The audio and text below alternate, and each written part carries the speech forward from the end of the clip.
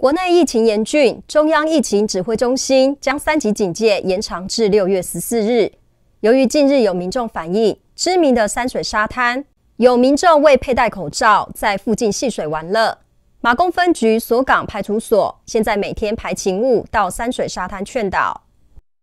山水沙滩是游客的戏水天堂，每到夏天都涌入许多游客及当地民众到这里戏水，但现在由于疫情严重。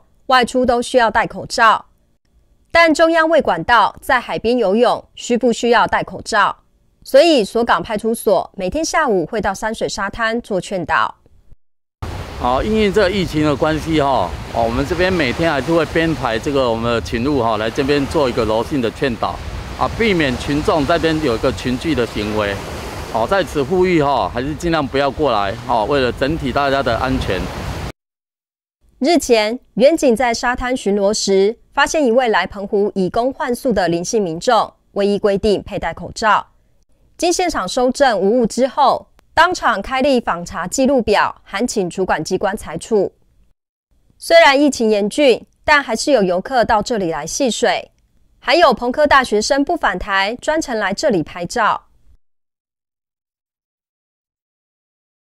为什么没有去？因为基本上是因为疫情啊。疫情，板桥那里现在蛮严重的。对啊，对啊。所以就暂时也不回去。暂时不会回去啊。好好好，就先在澎湖。对对对。比较安全。当然。没有游泳，我只是玩水。其他人觉得戴口罩游泳不方便啊。对啊，对啊，对啊。他戴口罩嘛？对啊。那你们来游泳怎么戴口罩？就就没有办法戴啊。对，所以只能上岸再戴起来。只能上岸。上岸上戴起来，嗯然后下水。下水就拿拿脱掉，脱掉哈。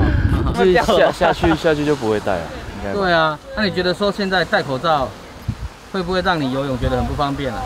该戴还是要戴啊，该戴还是要戴啊。警察局呼吁，澎湖大多数乡亲现在都知道要避免出入拥挤场所，但澎湖各沙滩、海岸线虽属室外场所，希望大家还是要确实戴好口罩。